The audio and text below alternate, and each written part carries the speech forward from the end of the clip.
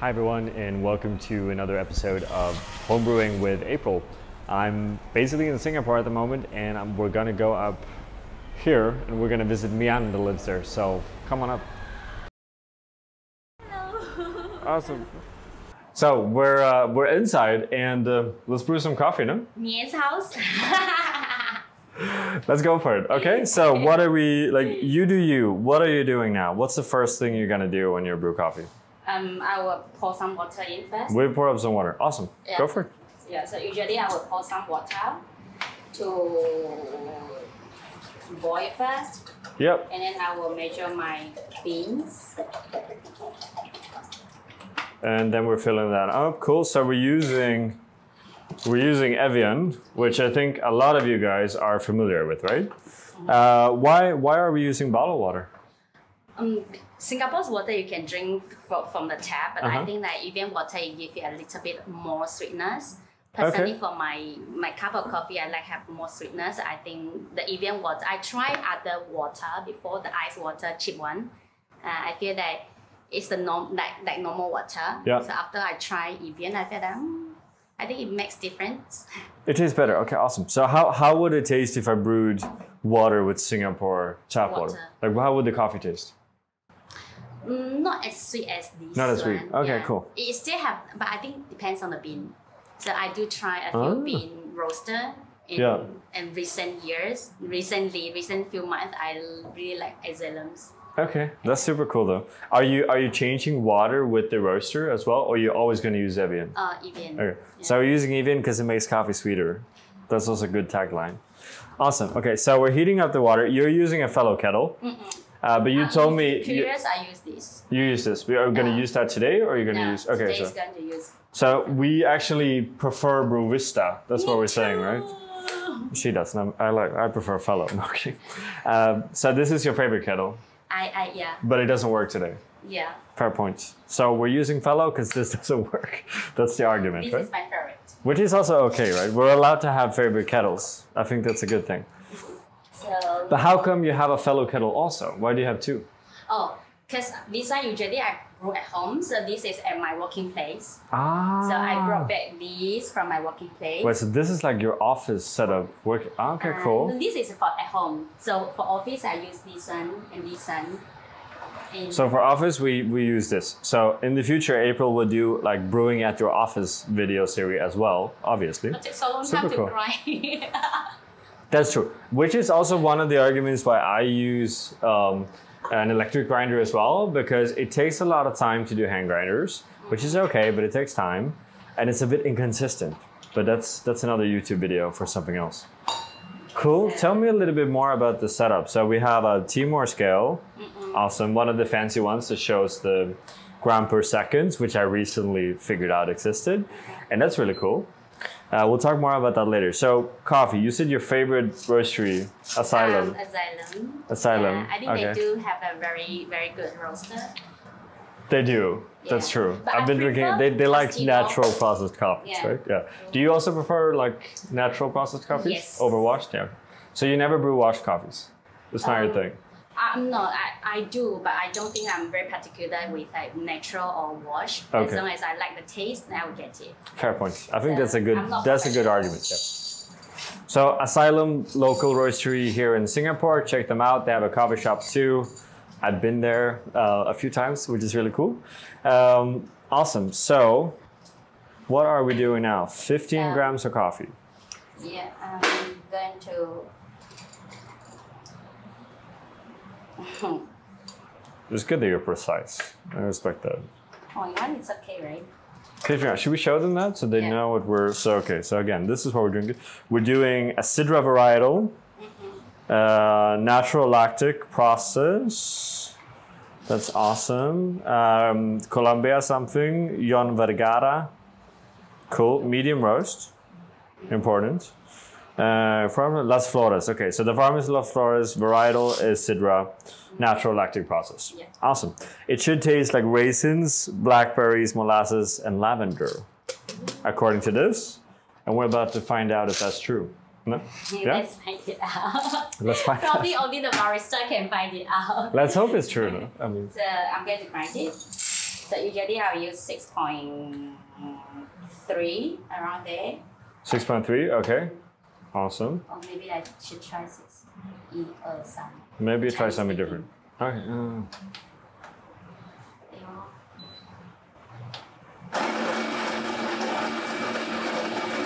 Cool.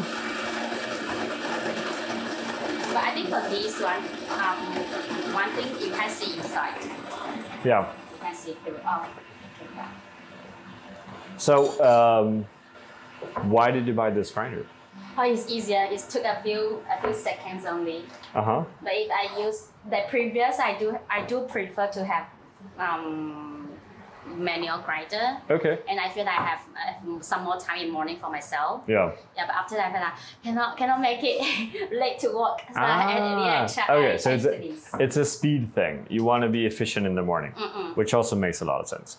But why did you get this specific model? So this is one of the fellow grinders, right? One of the, the latest one. The name is O Oppo, I think. Oppo. Oppo, Awesome. Okay. Oppo. I actually we haven't done a video on this because I got an American one and plugged it into Copenhagen, which wasn't very smart. Uh, but it's an interesting grinder. I did use it before before that. Um, and why did you get like this specific one? Is it like an aesthetic choice? Is it a price choice? Uh, price is always the first, I think, for Price is first, yeah. We are not professional, Yeah. so that it's easier for us. I think this one I got in tank side lesser than 300. Okay. Yeah. Yeah, so I think it's like okay and can save some hassles in the morning. Yeah. Yeah. So basically, value value for money is what we're going for here, which makes Easy also a lot of sense. Easy to clean. That's an Yeah. important one for sure. Uh, which is important also for professional brewers out there that should all clean their equipment better. Nice. Cool. So we're at 94. I Let's do some to- brewing. Yeah. To use 90, Okay. yeah, So it's too high for you. a little bit high. Ah, okay. But let's let's. Uh, you can just open the lid, take it off a bit. So Uh, then we take down I the. add some water in. Awesome. That does make a lot of sense. I think you have to add quite a lot if you want. Not too much. You okay? clearly done this before, so I'm, I'm just gonna be quiet and let you do your thing. Okay, cool. Yeah. So now we're setting up. Yeah. Also a fellow, sir. You clearly like fellow. Uh, not really. Not really. It's easier to find it. Ah, okay. So your your choice of equipment is based on also what is just available and easy to find. Yeah? Yes. Okay. So I got this one from Australia, but I can't find it in Singapore for others. If not, I will get uh, Brewista instead of fellow. Okay. Yeah. Fair point though. Fellow should listen to this and Yeah, become sorry. more. Yeah. So Step one: rinsing the paper filter. Awesome. Are you following the debate online now versus like um, rinsing filter or not rinsing filter? I read read some about it from Taiwan cafe. Uh huh. Some they do say that they they love to rinse it, and some they say it's okay not to rinse it. Ah, okay. But I think Yeah, it depends on individual. yeah. Are you uh, like watching a lot of the the online stuff like Reddit and coffee blogs and I stuff? watch or- April Brew. Nice. some April Brew from YouTube. Some April Brew. Yeah, Yeah, cool. I can't watch all because my schedule is quite quite tight also. Oh, fair enough. Yeah, so Fair enough. Is there anyone else you're you're like recommending people to to watch or check out that is not April? because for me I'm more in Chinese speaking, so I will watch like Taiwanese. Yeah, so Okay. there is a called AB. I can't RB or AB something. Okay. Yeah, I can't really remember the name, but they do recommend some like recipes, beans from Taiwan. Yeah. Yeah. Awesome. Super cool. But I can't remember the name. Fair enough. So we we find that out somewhere and put it somewhere on some kind of link or whatever. So we're brewing coffee now. Yes. Could you tell us what you're gonna do a little bit before you're doing it also so we kinda know? Um, so before I start, usually I will have a smell. Like what's the differences? Like different bean. Some Uh-huh. they do have very interesting smell. Sure. Like cast, uh, Castillo. Okay. What's that bean called? Like a, the, The- bridal, yeah, the the casio, yeah. and strawberry. I like Ah. the strawberry. The honey is Okay. the, the fermenter is very different. It's very different. That's true. Yeah. That's true. Cool. So we're dosing 15 grams of, of coffee. How much water are we going to pour on this? I use 250, uh, 240. 240. Okay. Yeah, and so are we I doing do like three multiple pour? pour. Three pours. Okay. Yeah. Can I start? You go for it, and then just walk us walk us through. Why the temperature so high? So it's a little bit higher again there, yeah?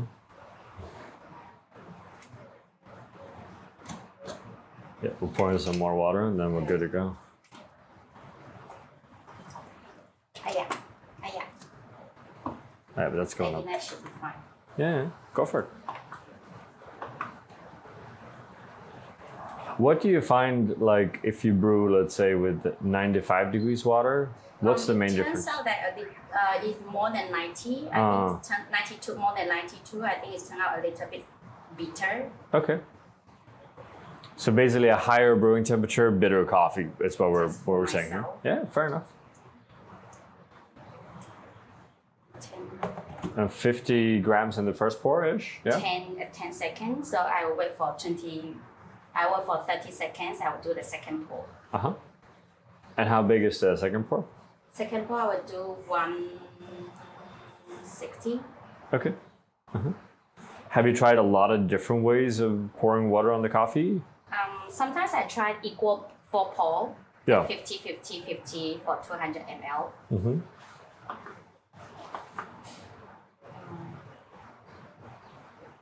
I think my kid also getting nervous. No, it's okay. 15. So I'm going to pour to 160. Uh huh. And you're always pouring in in uh, kind of a circle pour. Yeah. Yeah.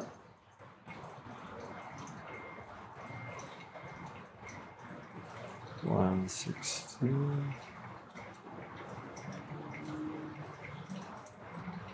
Awesome. And did you like try a lot of different recipes before you kind of came up to this, or was this something you kind of found pretty quickly? Previous I used there's an app called Filtru. Filtru. Uh, yeah. So when I first started, I used this app. These are Ah, cool. Do you want to kind of show that to the? thi- this one. Okay, am I allowed to do this? I'm just gonna press this, and I'm gonna do this, and then this is an app apparently. Um, Filtru F I L T R U. Something like that. Here we go.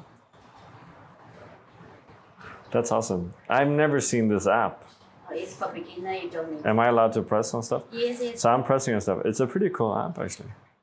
Yeah. Harry Brewer. And that was the last pour. Yeah. Yeah. So last pour around two minutes, eleven seconds, ten seconds.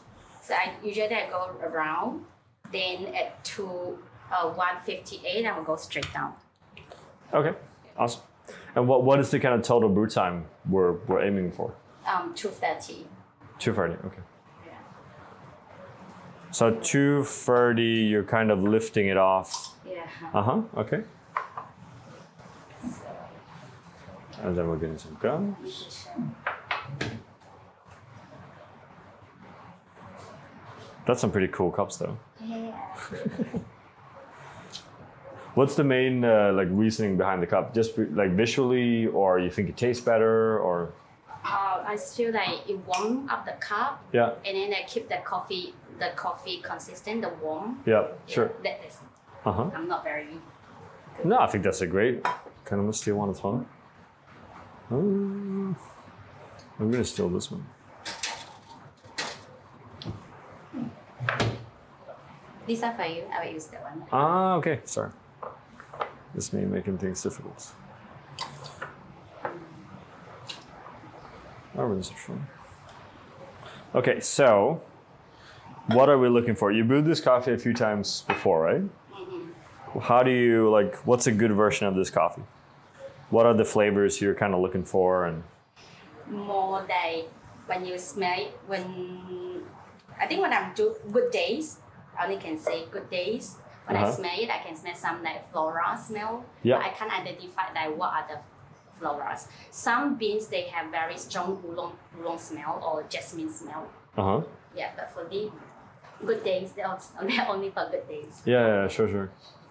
But this is like floral. I smell a lot of like um, black cherry, kind of Really. quite fruity. No, Yeah. it's a very fruity coffee. No, Mm. very fruity, very sweet. I'm gonna double check again because we did. I think it's quite different I'm gonna cheat it. Raisin, raisins for sure. At least like some kind of dried raisin vibe for sure. Um, I think has blackberries, molasses. flo- Floral. Do you agree with lavender? No. what kind of floral would you say? Um, I can't identify. Oh. Yeah. I can't identify. Definitely floral. Then there's a debate whether there's lavender or not, but that, that's okay, right? Not very good, but you can try. A little. Coffee. Coffee for stew as well. That's important, no?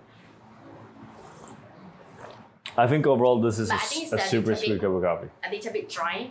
It is a little bit drying. Yeah. Why, why do you think it's a bit drying?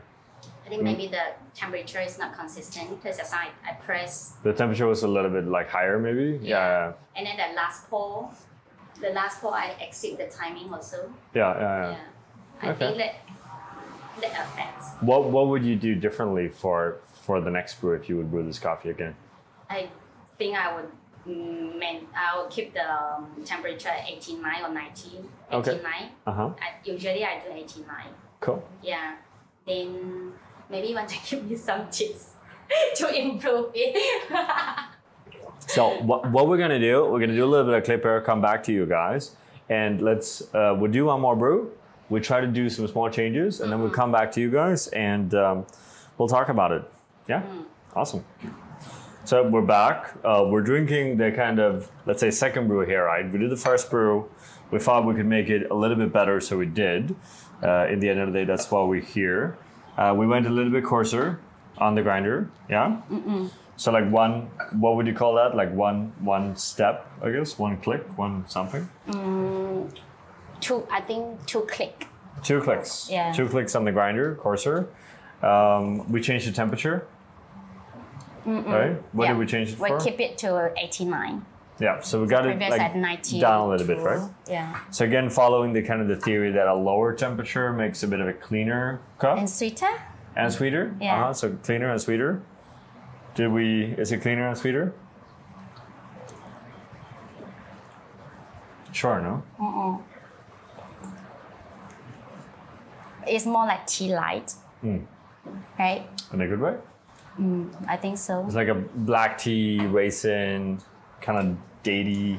The first one, when higher temperature, is really quite bitter to me. I mean, just only for my personal Sure, yeah. taste. I think this one is more like smooth. Yeah. But how can I improve from this cup? Ooh, I mean that's to a long, down. that's I need to write down. that's a long video, right? Uh, I mean, I think in general, I think this comes out fairly nice, though. I don't necessarily mind this. I think what I would maybe want to do is to try to give a little bit more um, texture Body. to it. I'm always going to be a big fan of pouring more water in the first pour. Oh, okay. So if I were you, I would still start with a 100 gram pour Oh, because a 100 gram pour is just going to make it a little bit more uniform and make all the flavors kind of combine a little bit better because you saturate faster. Um, so pour, start with a 100 gram and then divide the other pours into 50, After that. 50. probably. So you yours Would it you would be do like 50, 50, 240 50? or 200 ml water. Um, I would use a little bit less coffee, but that's not important, right? Because it's about your recipe. Uh, but I think in your case, I would do maybe split it into 100, 50, 50, 50 Okay. to kind of get a slightly different. You're going to notice that the first Because I feel that the body is not very strong, right? Like, Yeah. mm, like from other baristas, they when they pour, when I taste it, oh, it's really so nice. Have a lot of layers, the kind of feeling that you can taste different type. Mm. Sure. So when the bo- when the temperature goes down, the flavor also will be different. Yeah. So Mm. Yeah. so we can always have to hop around. But I think you can get that here as well, right? Mm. And and if you want complexity in layers, a lot of that is a combination of different variables. So it's not just one thing; it's always a little bit of everything. But I think starting by doing that first larger pour is you'd be surprised over how much that's gonna help. Okay. Yeah. Thank you for the tips. Thank you, and thank you also for having us here. It's super kind of you to, to like invite us. My honor. And as always, we want to thank all of you for watching as well. As per usual, make sure you subscribe. We have a Patreon thing that lets you know where I'm kind of That's good. That lets you know where I'm going next. So if you're in a city somewhere, then you know if I'm coming there, we can meet up, we can brew some coffee, who knows. Uh, this is again like one of many videos we're gonna do uh, the homebrewing with April series, right? So it's all about meeting people, visiting them in their houses, seeing how they kind of brew and share that with all of you, right? So we just wanna thank you for letting us come in here, which is really kind of you. Thank Uh, you. and again, thank you guys for watching and have a good day. Thank you.